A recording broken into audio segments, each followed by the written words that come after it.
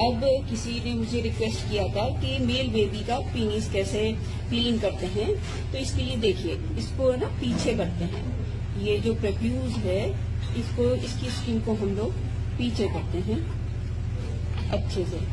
और इसको आप पीछे करके इसको नॉर्मल वाटर से या इसमें थोड़ा सा कभी कभी ऑयल डाल के भी इसे पीछे कर सकते हैं।